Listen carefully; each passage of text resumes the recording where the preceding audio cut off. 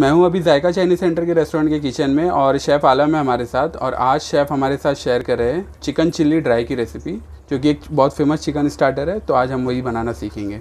तो chef start करते हैं। वोक को अच्छे से गर्म करने के बाद हम इसमें ऑयल डाल देंगे।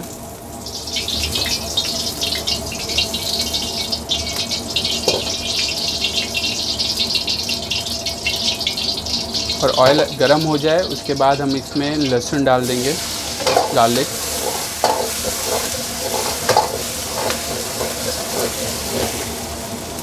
और फिर छोटे छोटे कट के हुए जिंजर डाल देंगे चॉप जिंजर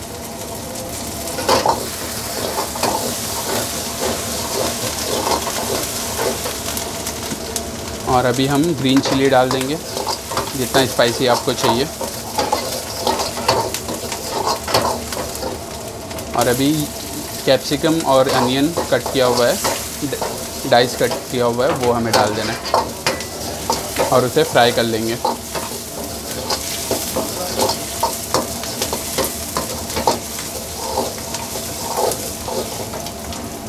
और ये चिकन पकोड़ा है, ये कॉर्नफ्लावर लगा हुआ चिकन फ्राइड है तो वो हमें इसमें डाल देना है। और हल्के हाथों से स्टीर करते रहना है आपको। अभी हम रेड चिली सॉस डाल देंगे। और सोया सॉस डाल देना है। और हल्के हल्के हाथों से हाई फ्लेम पे स्टीर करते रहना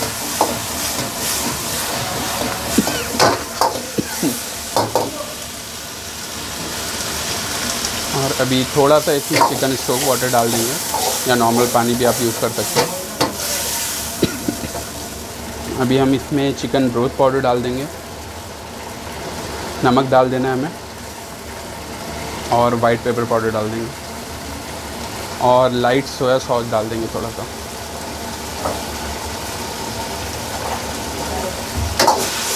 उसे मिक्स कर लेंगे अच्छे से।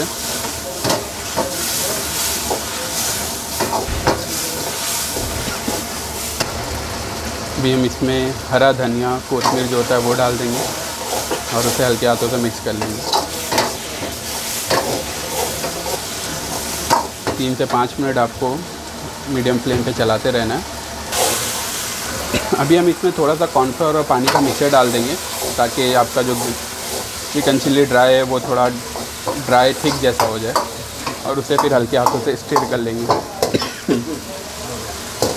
तो ये हमारा चिकन चिल्ली ड्राई जो है, वो रेडी हो गया। तो ये हमारा चिकन चिल्ली ड्राई जो है, वो रेडी हो गया। है तो अगर आप मुंबई से हो तो आप Zaika Chinese centre fort area में जो रेस्टोरेंट है वहाँ के आप इसे टेस्ट भी कर सकते हो। अगर आप मुंबई से नहीं हो तो आप अपने घरों में बनाइए और हमें कमेंट्स में ज़रूर बताइए कि आपका चिकन चिल्ली ड्राई कैसा बना। ऊपर से आप इसमें इस हरा धनिया कोतमीर जो होता है उससे गार्निश कर लीजिए।